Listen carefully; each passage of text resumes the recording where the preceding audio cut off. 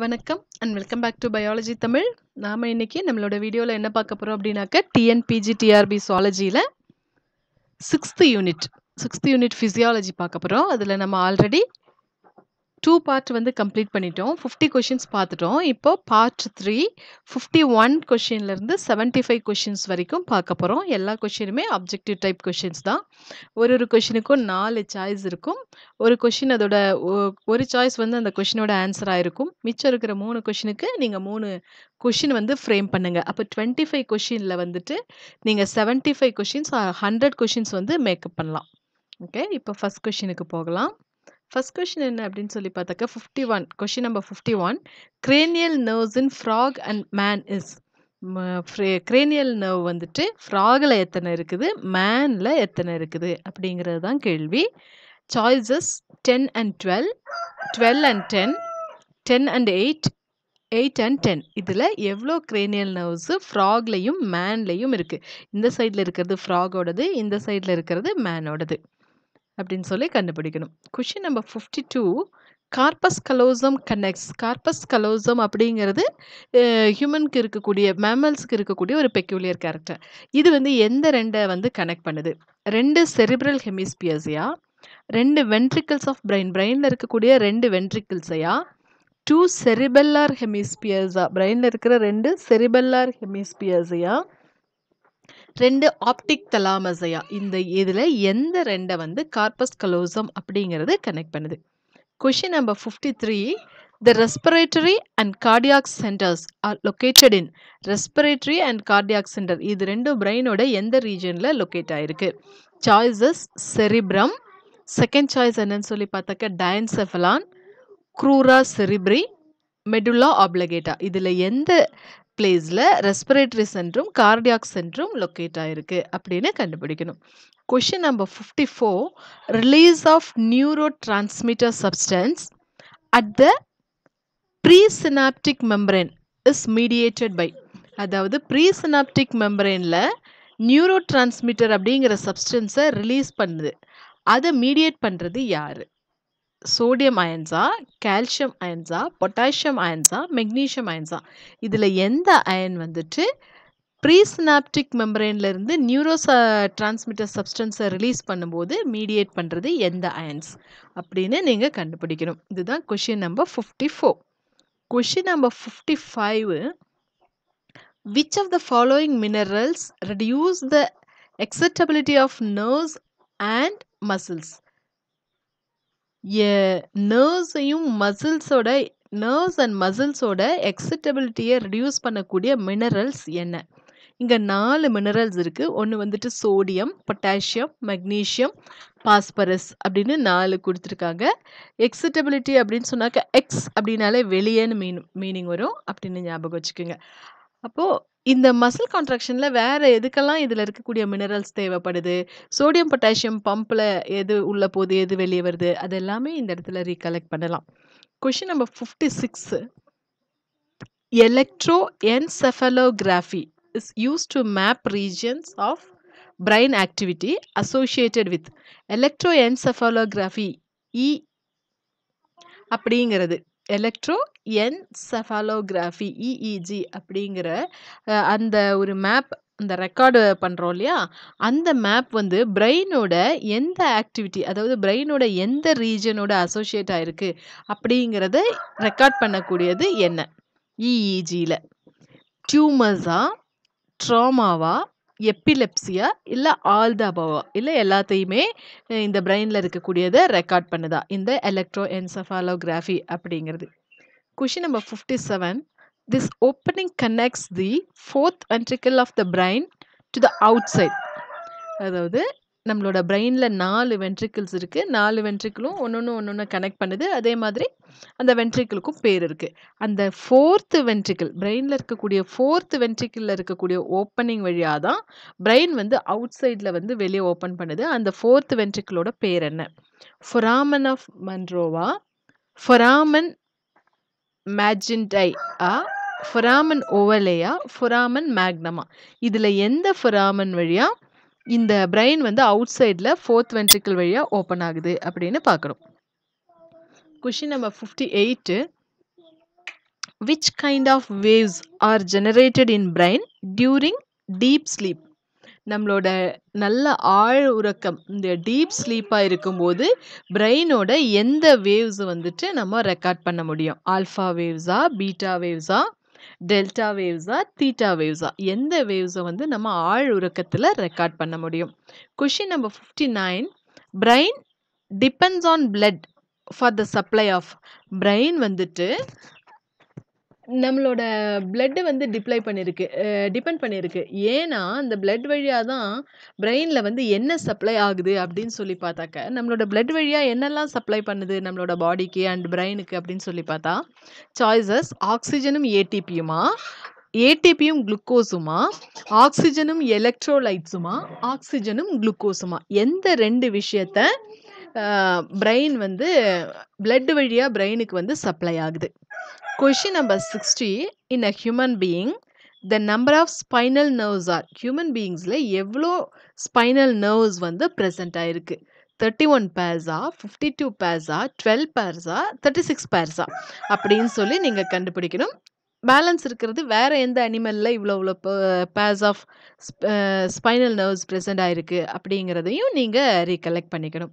Question number sixty one which of the following is a part of our brain இங்கே இருக்கக்கூடிய இதில் எது வந்து நம்மளோட பிரெயினோட ஒரு பார்ட் அப்படின்னு சொல்கிறோம் choices are corpora அல்லைட்டா corpora adiposa corpora bigemina corpora quadrigemina இதில் நாலில் எது வந்து நம்மளோட பிரெயினோட ஒரு பார்ட் அப்படின்னு சொல்கிறோம் இதுதான் question number sixty one question number sixty two வந்து ஒரு sequence order the correct sequence of meninges from inner to outer side பிரெயினோட இன்னர்லேருந்து அவுட்டர் சைடுக்கு இருக்கக்கூடிய மெம்பரைனோட நேம்ஸ் என்னன்னு சொல்லி நம்ம இந்த ஆர்டரை சீக்வன்ஸ் பண்ணணும்.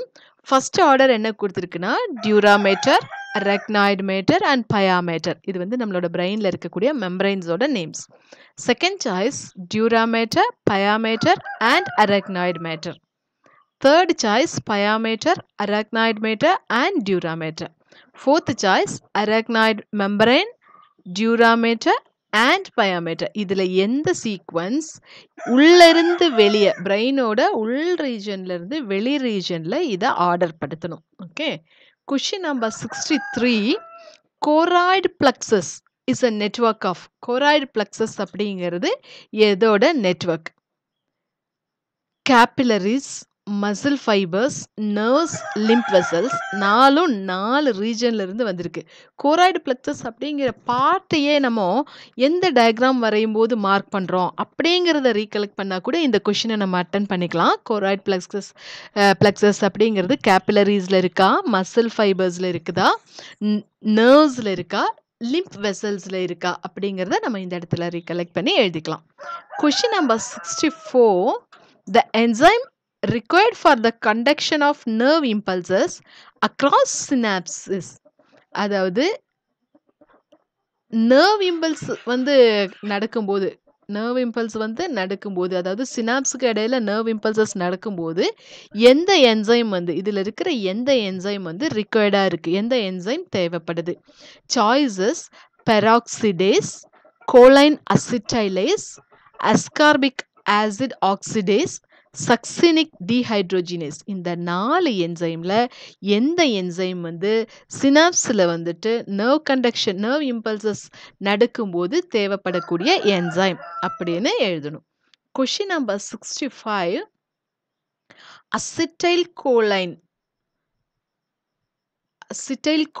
acetylcholinesterase அப்படிங்கிற enzyme splits acetylcholine into acetylcholinesterase அப்படிங்கிற என்சைம் ஆனது அசிட்டைல் கோலனை ரெண்டா பிரிக்குது.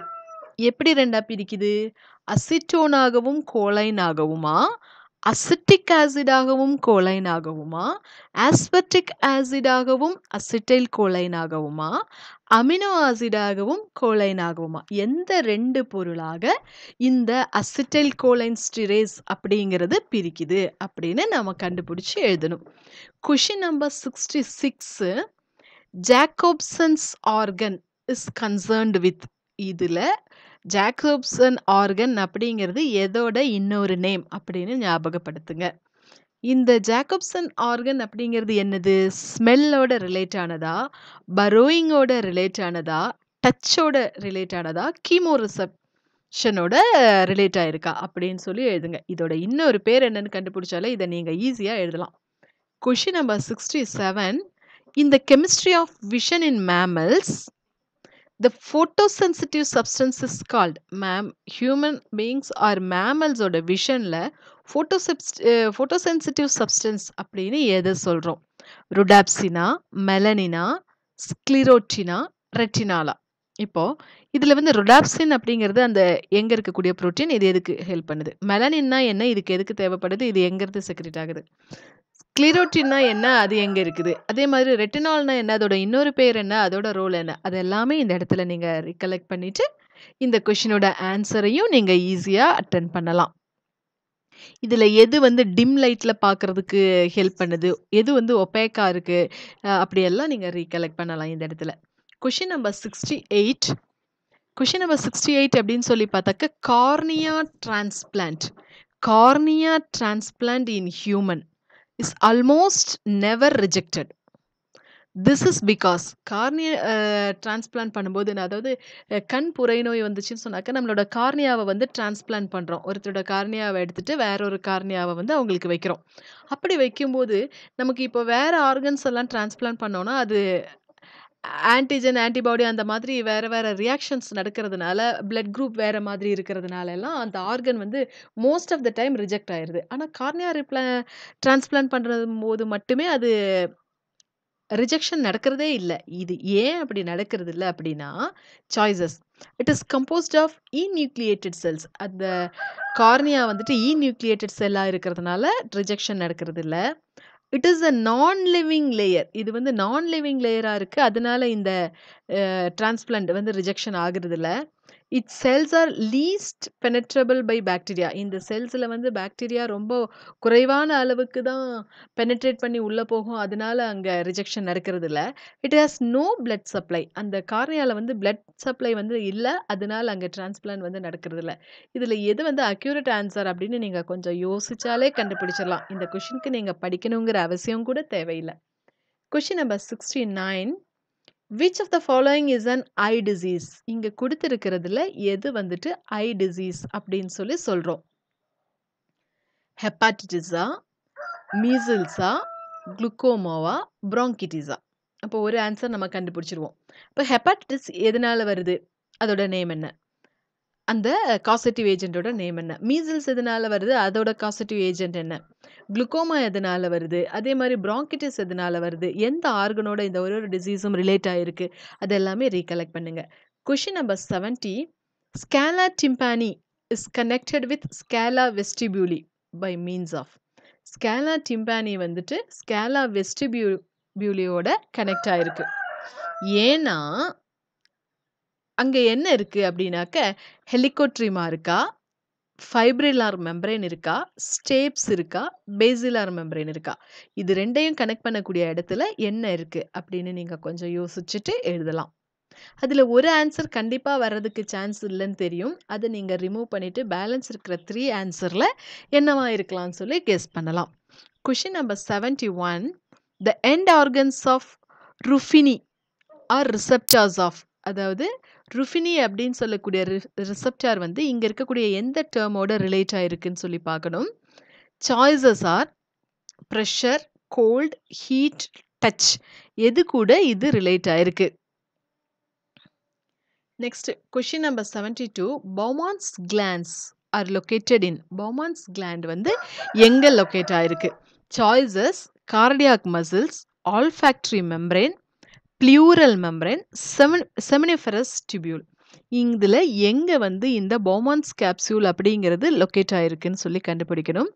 பௌமான்ஸ் கிளாண்ட் அப்படிங்கும்போதே எது கூட ரிலேட் ஆகிருக்குன்னு பார்க்கலாம். ப்ளூரல் மெம்பரேன்னா என்ன? அது எந்த ஆர்கன்ல இருக்குது கார்டியாக் மசில்ஸ் எங்கே ப்ரெசென்ட் ஆகிருக்கு செமினிஃபரஸ் டிபியூல்ஸ் எங்கே ப்ரெசென்ட் ஆயிருக்கு? ஆல்ஃபேக்ட்ரி மெம்பரேன் எங்கே ப்ரெசென்ட் ஆகிருக்கு அது எல்லாமே நீங்கள் இந்த இடத்துல ரீகலெக்ட் பண்ணுங்கள் question number 73 which of the following protein is found in the thick filament of skeletal muscle?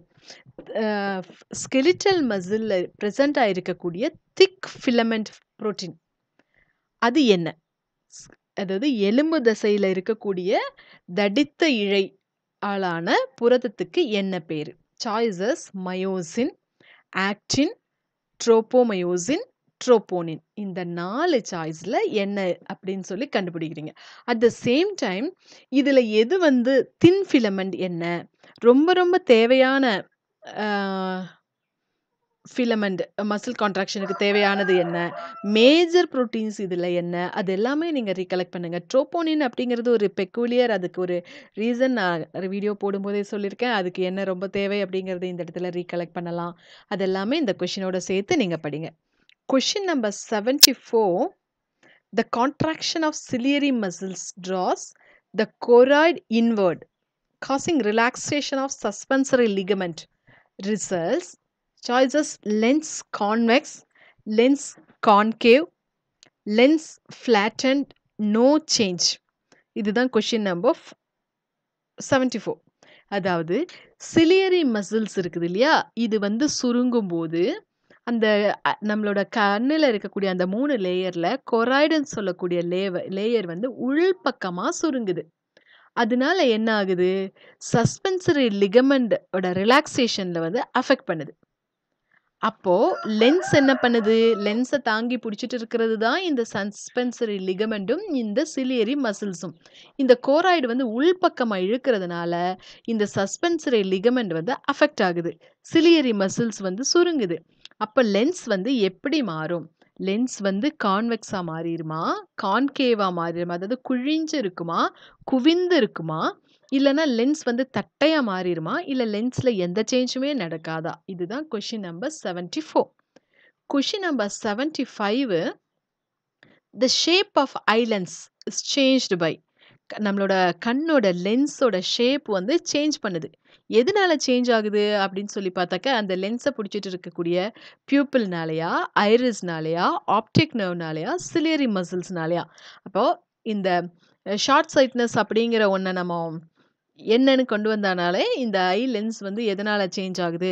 Or short sightedness or long sightedness இதில் எதை நீங்கள் ஞாபகத்தில் கொண்டு வந்தாலும் இந்த கொஷினை வந்து ஈஸியாக அட்டன் பண்ணிக்கலாம். ஓகே இப்போ நம்ம இந்த செவன்ட்டி ஃபைவ் கொஷின்ஸோட இந்த வீடியோவை கம்ப்ளீட் பண்ணுறோம் ஓகே தேங்க்யூ இந்த வீடியோ உங்களுக்கு பிடிச்சிருந்துச்சுன்னு சொன்னாக்க வீடியோவை சப்ஸ்கிரைப் பண்ணுங்கள் உங்கள் ஃப்ரெண்ட்ஸுக்கு ஷேர் பண்ணுங்கள் டிஆர்பி எக்ஸாம்க்கு யாராச்சும் படிக்கிற மாதிரி இருந்தால் அவங்களுக்கு சஜஸ்ட் பண்ணுங்கள் டவுட்ஸ் இருந்தால் கமெண்ட்ஸில் சொல்லுங்கள் அதே மாதிரி இந்த கொஷின்ஸோட ஆன்சர்ஸ் எல்லாம் நான் டிஸ்கிரிப்ஷன் பாக்ஸில் கொடுத்துருக்கேன். நீங்கள் அங்கே போய் டெஸ்ட் எழுதினதுக்கப்புறமா உங்களோட ஆன்சர்ஸை செக் பண்ணிக்கலாம். Okay thank you